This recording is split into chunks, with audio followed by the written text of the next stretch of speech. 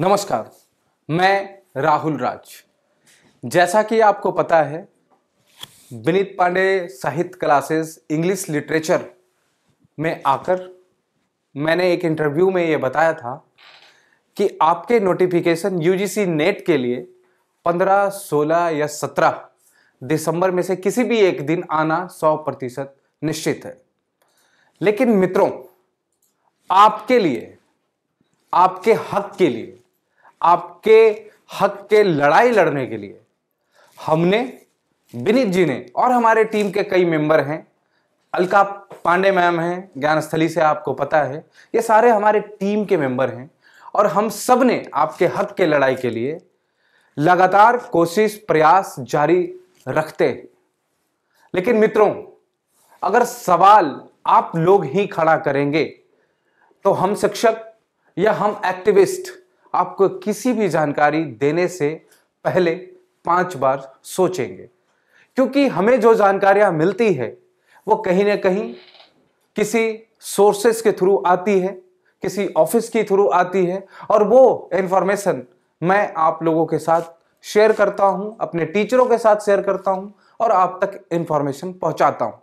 अगर इसमें कुछ उतार चढ़ाव या दो चार दस दिन ऊपर नीचे हो जाने पर आपके इतने सारे नेगेटिव कमेंट्स आपके इस नेगेटिव कमेंट्स से हमारा मनोबल टूटता नहीं है, ना गिर सकता है, लेकिन हम कमज़ोर होते हैं। क्योंकि हम काम किसी एक, दो व्यक्ति के लिए नहीं, पूरे समुदाय, पूरे समाज, पूरे देश के लिए कर रहे हैं। और आपके दो, चार, दस नेगेटिव कमेंट से कोई फ़र्क नहीं पड़ता। अब मित्रों, मैं आपको बता दूँ कि हाल ही में यूजीसी के additional secretary mister Surendra Singh ji का रिटायरमेंट हो गया। यूजीसी के अंदर यूजीसी नेट एग्ज़ाम का जो सारा कामकाज था, वो उनके थ्रू होता था। और अब आपके बीच नए joint commissioner doctor Tejas Joshi ji प्रभार लिए। अब मित्रों, अब देखने की बात है, मैं आपको जो बताना जा रहा हूँ। चौदह दिसंबर को मैंने एक मेमोरेंडम डॉक्टर तेजस जोशी जी को भेजा, दिया और इस नोटिफिकेशन में हमने डिमांड क्या रखा है? इस नौ पॉइंट्स को आप देख सकते हैं। आपके, इसके पॉइंट्स की लिस्ट पीडीएफ पे उपलब्ध भी हो जाएगा। लेकिन मित्रों यह आपकी लड़ाई है और आपकी लड़ाई लड़ने की वजह से ये चौदह तारीख के मेमोरेंडम देने के बाद जहाँ तक आप देखेंगे कि 15 दिसंबर को एनटीए ने एक अपना एनुअल एग्ज़ाम का लिस्ट जारी किया कैलेंडर जारी किया, और उस कैलेंडर में नेट का कहीं भी ज़िक्र नहीं है। अगर दोस्तों नेट का एग्ज़ाम मर्ज होना होता या नेट नेट का एग्ज़ाम जून में होना होता तो आपके एग्ज़ाम डेट्स यहाँ आ गए होते और आपको कैलेंडर में यह दिख रहा होता। लेकिन मित्रों मैं आपको बताऊँ कि आपका नोटिफिकेशन 15, 16 या 17 के बीच आना सुनिश्चित था लेकिन कुछ डिमांड्स जो हमने उनके समक्ष रखे वो अपने कोर कमिटी में बात करने के चलते इसको पेंडिंग रखें। अब आपको मैं दो चीज़ बताने जा रहा हूँ। आप चाहें तो आरटीआई लगाकर इस लेटर का या हमारी पूरी लड़ाई का एक एक ब्यौरा एक एक जानकारी ले सकते हैं। आपको आरटीआई के थ्रू हर वो पेपर मिल जाएगा जिसकी लड़ाई हमने, विनीत जी ने या किसी भी मेंबर ने लड़ी और आपके समक्ष आकर सब कुछ बताया। अब आप इसमें ध्यान देंगे जो सबसे महत्वपूर्ण, जो मैं उस दिन भी इंटरव्यू में बताया था कि जो सबसे महत्वपूर्ण, मैं चाहता हूँ कि क्या हो, जिससे स्टूडेंट ज़्यादा से ज़्यादा क्वालिफाई करें और टीचिंग के क्षेत्र में आए, वो यह था कि जो पोर्टल है उस पोर्टल में ओनली जे आर एफ़ के लिए एक पोर्टल अलग से खोला जाए, जिससे multiple times of assistant professor के लिए क्वालिफाई हो रहे हैं बच्चों को रोका जाए और नए बच्चों को इसमें शामिल किया जाए। मित्रों, ये लड़ाई कोई छोटी लड़ाई नहीं होती है। अगर कोई इंफॉर्मेशन गलत हो जाता है तो आपको शिक्षकों का समर्थन करना चाहिए कि कोई बात नहीं, सर आपने जो भी जानकारी दी है, हमारे हक के लिए दी है, हमें पढ़ने के लिए दी है, आपको अंतिम लक्ष्य क्वालिफाई करना है, आपको पढ़ाई करना है। अगर किसी ने आपको ये बोला है, मार्च में एग्ज़ाम है और मार्च की जगह अप्रैल हो गया तो आपको दोस्तों एक महीने ज़्यादा मिलेंगे पढ़ने के लिए क्वालिफाई होने के लिए, सफल बनने के लिए। इस मुद्दे पे ज़्यादा जानकारी आप खुद से, स्वयं से आकलन करेंगे तो मिलेगा। क्योंकि कोई भी न्यूज़ चैनल अगर किसी भी चीज़ के बारे में सोर्स के थ्रू कुछ बताता है तो हो सकता है कि वो गलत हो जाए और ज़्यादा संभावना सही होने की होती है, जो इस केस में हो रहा है। तो आप किसी को इस तरीके से नेगेटिव कमेंट करके उनके मनोबल को ना तोड़ें, बल्कि अपने मनोबल को बूस्ट करें और हम लोगों को समर्थन करें सपोर्ट करें। अब आपको मोटा मोटी एक दो बात और बता देता हूँ। जैसे वन शिफ्ट वन एग्जामिनेशन का डिमांड सेंटर जहाँ वेन्यू बच्चे मांगते हैं, उस वेन्यू का।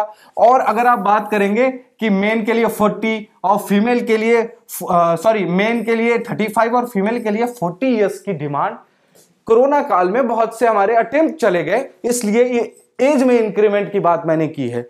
और भी ऐसी कई चीज़ें मैंने डिमांड किया है जो नौ इस महत्वपूर्ण पॉइंट्स में आपके समक्ष रखा हुआ है। और आप ये देखेंगे कि ये चौदह को मैंने मेमोरेंडम दिया है और आने वाले पंद्रह दिसंबर को नोटिफिकेशन में आपका नेट का ज़िक्र तक नहीं है। तो आप विश्वास मानिए, बहुत जल्द, अब मैं समय की जानकारी आपको नहीं दूँगा, लेकिन बहुत जल्द आपको, आपका यूजीसी नेट एग्जामिनेशन का फॉर्म इस पोर्टल पे दिखेगा और दिखेगा। बहुत बहुत शुक्रिया। नमस्कार। धन्यवाद। दोस्तों, आपने अभी राहुल राज को सुना। क्या ज़रूरत थी उनको इस चैनल पे आके आज आपसे बात करते हुए इमोशनल होने की? आप जानते हैं दोस्तों, जब कोई आपके लिए प्रयास करता है तो वो प्रयास करने के लिए अपने जीवन का एक बहुमूल्य समय अपनी लाइफ से, अपनी जिम्मेदारियों से, अपनी पारिवारिक ज़िम्मेदारी से हटा करके समाज के नाम पे आपके लिए आता राहुल जी ने ऑन कैमरा इंटरव्यू में आके बोला कि लगभग पंद्रह सोलह के आसपास एक नोटिस आने वाला है, बहुत जल्दी नोटिस आएगा। आप लोगों ने कहा, बहुत अच्छी बात है। और जब वो आपको नहीं मिला तो दो या चार लोगों ने कमेंट्स करने शुरू कर दिए। मैं उन लोगों से पूछना चाहता हूँ कि आप हमारे साथ कोई शतरंज थोड़ी खेल रहे हैं कि हमारी हार है तो आपकी जीत है। अगर राहुल जी की कोई बात थोड़ा ऊपर नीचे हो गई डेट्स ऊपर नीचे हो गई तो आपके लिए लड़ने वाले हैं वो, आपकी टीम में हैं। और मैं एक चीज़ यहाँ पे ऑन फैक्ट दिखाता हूँ। ध्यान से दिखेगा। ये तारीख देखिए आप। फोर्टीन दिसंबर राहुल राज जी का डेजिग्नेशन किस लेवल पे है वो मैं नहीं दिखा रहा हूँ यहाँ पे, क्योंकि वो आपके लिए, हमारे लिए सिर्फ़ और सिर्फ़ छात्रों के लिए एक आवाज़ उठाने वाले एक मशाल है। ध्यान से देखिएगा, इस तारीख पे उन्होंने एक मेमोरेंडम दिया है और नोटिस देखिए किस तारीख पे इस नोटिस में, इस मेमोरेंडम की वजह से सिर्फ़ एक चीज़ चेंज हो गई, वो है यूजीसी नेट और वो क्यों चेंज हुआ? क्योंकि जो आदमी आज आपके सामने इमोशनली बोल रहा है, वो आदमी आपके हक की लड़ाई के लिए जाके बोलता है कि आप एक दिन में पेपर करवाइए। वो जाके बोलता है जेआरएफ की अलग से विंडो कीजिए। वो जाके बोलता है एज बढ़ाइए। और ऐसे बहुत सारे पॉइंट्स किसके लिए कर रहे हैं? और अगर उस आदमी को यह नहीं पता था कि नोटिस कब आएगा तो कहने के बाद ही पंद्रह को क्यों रिलीज़ हुआ? क्योंकि जब वो नोटिस में नेट आने वाला था, उन्हीं के मेमोरेंडम पे, जी हाँ, ये नौ चीज़ें जो आपके लिए, उस पर दोबारा से विचार करने के लिए उन्होंने नेट को रोक लिया और बाकी नोटिस एज इट इज़ आ गया। देखिए, सौ लोग जब इस वीडियो को देखते हैं तो कम से कम 95 लोग ऐसे हैं जो एक्चुअली एक स्टूडेंट की तरह देखते हैं, समझते हैं। हम उनके साथ हैं। लेकिन जो पाँच लोग, कोई भी, आके कोई नेगेटिव कमेंट करते हैं। आप जानते हैं वो पाँच हमारे दुश्मन नहीं अगर दुश्मन हो और उनके नेगेटिव कमेंट हमें आए तो हमें अच्छा लगेगा कि चलो कोई जल रहा है। वो पाँच भी हमारे स्टूडेंट हैं। वो पाँच भी हमारे ही स्टूडेंट हैं और इस वजह से एक ऐसा इंसान जो सब कुछ त्याग के आपके लिए लड़ रहा है, वो उन पाँच कमेंट्स को दिल पे लेता है। उसे बुरा लगता है। आपको पता है? आज इस वीडियो को रिकॉर्ड करने से पहले आप ध्यान से देखिएगा। दिल्ली पुलिस एसीबी कमिश्नर जो एंटी करप्शन ब्रांच की कमिश्नर है, उनके साथ एक इंपॉर्टेंट मीटिंग एक इंपॉर्टेंट फ़ंक्शन में थे राहुल सर। चाहते तो चीज़ें इग्नोर कर सकते थे। मैंने उनको कुछ नेगेटिव कमेंट्स के बारे में बताया कि देखिए सर, आप इतना प्रयास कर रहे हैं, आके बात कर रहे हैं, और ये बच्चे हमारा दिल तोड़ते हैं। और आज वो चीज़ उनको इतनी लगी उन्होंने कहा सर, मैं आपके कैमरे पे आके खुद बात करता हूँ बच्चों से। एक बात मैं आपसे पूछना चाहूँगा। 140 करोड़ हिंदुस्तानी है। कम से कम 18 लाख लोग बच्चे नेट एग्ज़ाम देते हैं।